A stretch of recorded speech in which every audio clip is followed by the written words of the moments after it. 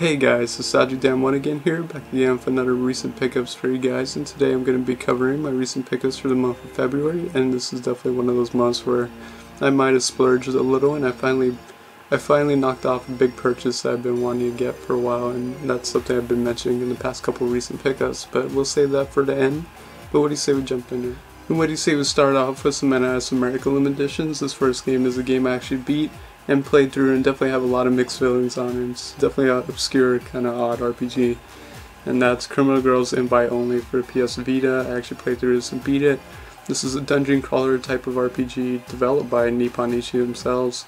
And it's it's it's not that great, honestly, if we're talking about it honestly. It's not a very good RPG. It's actually very, very mediocre and has a lot of issues. But the thing that kept me going and the reason why I finished it was I actually found a lot of enjoyment in this game with the battle system. The battle system is extremely basic, like it's just as basic as possible with the visuals, but it's actually extremely in-depth once you start playing it because this also has that infamous motivation mechanic where you kind of spank these girls and kind of motivate them.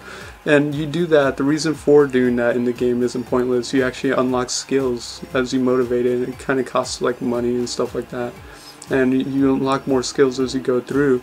And all these girls kind of have like a distinct style to them. Like some one of them's like a tank, one of them's like a healer, one of them's like a mage, stuff like that. There's little gimmicks like that to them. And as you unlock their skills, that really opens up a lot of variety for a battle system. And the interesting part about the battle system is it isn't like a typical RPG where you just like always select what you're gonna do. You're actually dependent on whatever the girls give you as commands, which is really interesting because it makes the game that much more tense and really keeps you on your toes because you never know what you're going to get every turn. Like you can one turn really badly need a heal and the girl who's a healer won't give you a heal, like stuff like that. Like it keeps you on your toes and it's very, very tense and can be a little bit frustrating as well, but I managed through it and I think the main thing with this game is if you want to get through a lot of the boss fights, make sure you have plenty of healing items and especially kind of magic healing items. But yeah, the dungeon's extremely repetitive, tons of backtracking, and just a really bland story, honestly, with the whole kind of premise of it. Just not a lot there. But that battle system, man, like even if RPG has like like a redeeming battle system, that's kind of enough for me to keep going. So at the end of the day, very mediocre RPG that I still enjoyed the battle system and kind of found that rewarding. The next NIS America Limited Edition I have is a game I have a lot of mixed feelings on as well, and that's Hotaru no Nikki, The Firefly Diary for the PS Vita.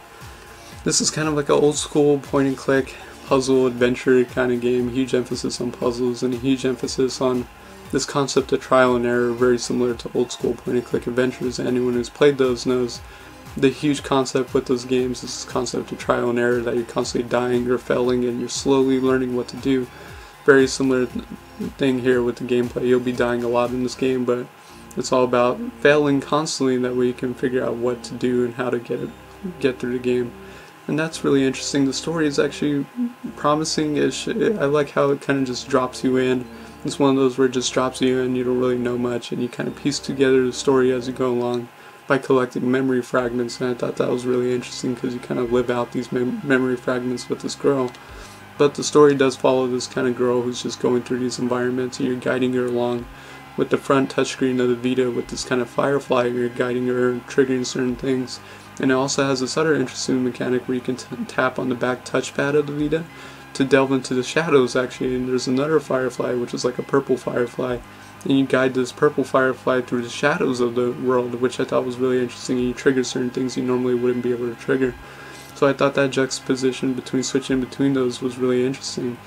But I think the biggest issue with this game is definitely the controls, and that's why I feel so mixed on this game. Is the controls are just not that good. They're very unresponsive. The girl moves extremely slow. Like she just is so slow and in the life and death situation like a lot of the stuff in here you would think you would move a little bit faster but she moves so slow. She gets up and down from stuff extremely slow and it's just a little bit annoying and a little bit tedious. But you maneuver the firefly too and even the firefly is just it has this gimmick where it's constantly moving even if you're not doing anything. So it's just slowly kind of moving around in like a circle and bobbing and that can actually screw you over sometimes because there's certain parts in this game where you need to be like extremely precise, like just extremely precise with your movements and here's the Firefly moving around by itself, and that can screw you over sometimes because if the Firefly comes into contact sometimes with certain objects or walls, it can die and you'll have to do it all over again. It does have checkpoint systems too, so it's kind of broken out as you go through. You get certain checkpoints and you start if you die from the previous checkpoint. But yeah, the controls I just wish were so much better. Also, this game has boss fights. I don't know why this game has boss fights. I really don't like that. I think this would have been a game that would have benefited for not having boss fights, and that would have been fine, and it just would have made the game feel that much more atmospheric.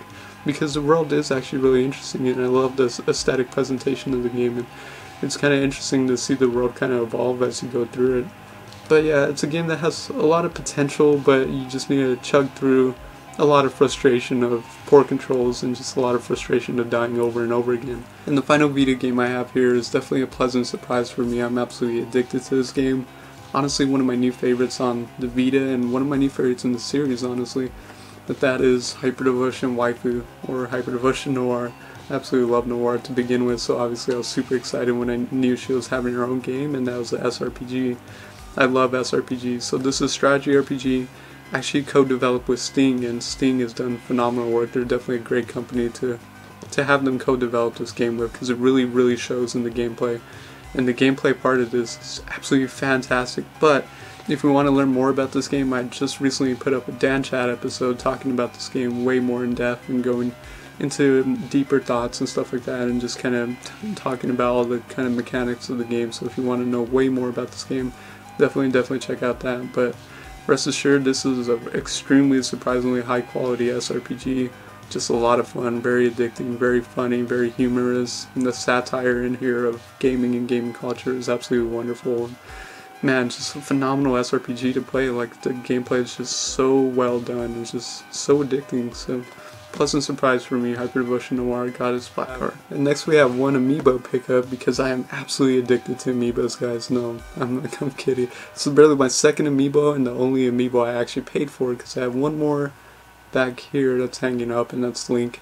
And I got Link because I got that for free for pre-ordering Smash way back when and I was like, okay, I might as well get a free amiibo and buy the game at no extra cost, so that made sense.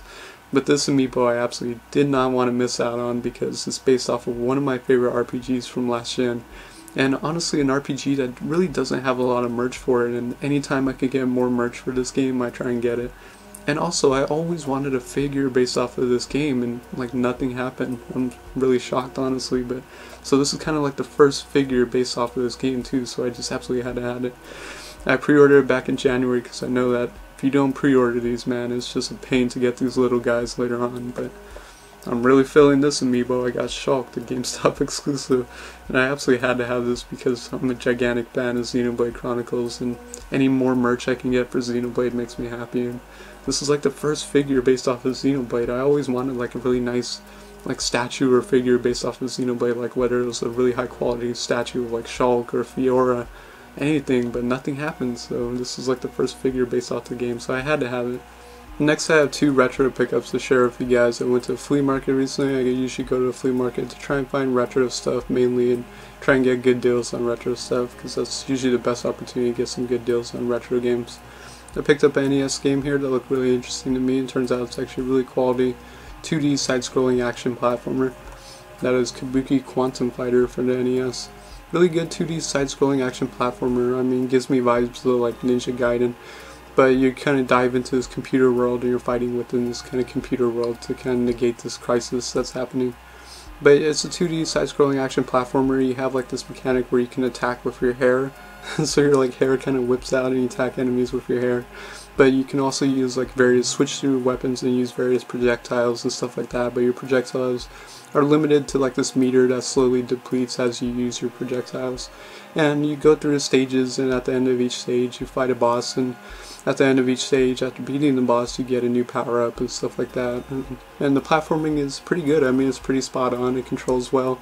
A lot of tricky little platforming and stuff to do. But really fun, really enjoyable 2D side-scrolling action platformer that's not too well known, so if you're interested in side-scrolling action platformers, I would say definitely check this one out and that's Kabuki Quantum Fighter.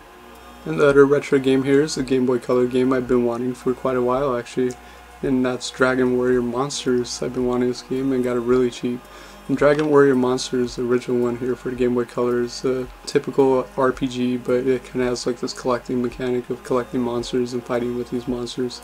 But this looks really good, and it's always looked really interesting to me, so I had to pick it up when I saw it for cheap. So really excited to check out Dragon Warrior Monsters on the Game Boy Color. Next I have a device slash pseudo console.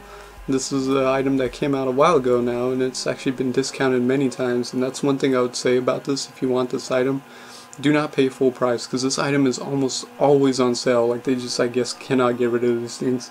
But man, it's the item I wanted because I want the ease of access of being able to play this handheld, which I really like, and these games on this handheld on my TV. And Amazon had a lightning deal where they were going to have this, I heard prior to that they were going to have this for 50% off. And then I knocked it down even more with some Amazon credits. So I paid $30 for this brand new. And I couldn't pass it up at that price. I had to have it and that's a PlayStation TV. I've been wanting a PlayStation TV because I just simply want to be able to mainly play RPGs and longer RPGs on my TV and just having the option, you know. It's great to have the option of if I don't feel like playing it on my Vita, then being able to play it on my TV. And it's basically like having your Vita on your TV. The inter the interface and stuff like that is identical to the Vita. And obviously it can't play all games. There's certain apps and certain games that it just can't play. But for the majority, a lot of the games I tried worked on it. I'm actually playing Hyperdevotion Noire right now on my PlayStation TV. Also, the main reason I want a PlayStation TV is because for me personally, I have a hard time putting long sessions and long gaming hours into handhelds. Like I can do like maybe an hour or two, but other than that, like I just I, I get burnt out of playing on a handheld for such a long time. So on the TV, I can definitely put in much more hours, and it's a lot easier for me. So it's great for this can be great for delving into like really ridiculously long RPGs or just playing RPGs in general. So I'm happy to have a PlayStation TV. And finally, we have the console I've been talking about. This is a big purchase I've been meaning to make for a while, and I've been saving up for. And I'm really happy I got actually a really good deal on this. I didn't pay full price, so I was really happy about that. And I'm really happy to finally have this console because there's a lot of games coming out for it that are either exclusive or I feel like the definitive versions are on this console. So obviously I'm talking about PlayStation 4. I finally got a PS4. This is the Last of Us Remastered bundle. Comes with the downloadable code for The Last of Us Remastered and all the components for the PS4. But man, I, I wanted a PS4 because I thought it was the right time. I was able to get a really good deal on it, and like I mentioned before, there's a lot of games coming out for this that are either exclusive or just like the definitive versions are kind of on the next gen consoles like the PS4, Xbox One. But now that I have a Wii U and PS4, I'm pretty content. I might want to get an Xbox One later down the road, so because I like to have all the consoles because that's fun. But for now, I'm really happy with the PS4, and I actually never played The Last of Us, so I started playing it, and man, what a phenomenal game The Last of Us is. I can definitely see why it won so many Game of the Year awards. It's the Last of Us is just incredible. If you haven't played it, I've never played a game where the combat just felt so intense, and it was just it's so intense. It's just so nerve wracking when you get into combat. The world is incredibly atmospheric. The sense of character development is incredible. The sense of an interesting relationship between these two characters here, Joel and Ellie, and the way they kind of slowly bond together is really, really interesting. Some of my favorite moments in this game is simply when Ellie is, you're walking around with Ellie and she's just talking about certain things or pointing out certain things in the environment. Just phenomenal, man. Like if you have not played The Last of Us, which I'm sure a lot of you probably have because I'm always late to the party on mainstream releases, but if you haven't played The Last of Us, trust trust me, you can definitely play. It's one of the best games I've played in a long time. So Okay guys, and that'll pretty much do it for my recent pickups for the month of February. As always, be sure to let me know what you guys picked up recently in the month of February, or what you guys are playing recently. Always interested in hearing that.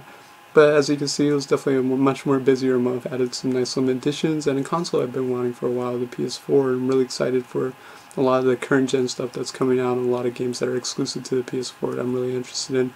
So really happy to just knock that big purchase out of the way. Anyone knows when you're saving up for like a big purchase, feels really good when you get it and just knock that out of the way. But really happy with this month. Looking forward to another great month in March. So as always, thank you for watching guys. Please take it easy. Bye.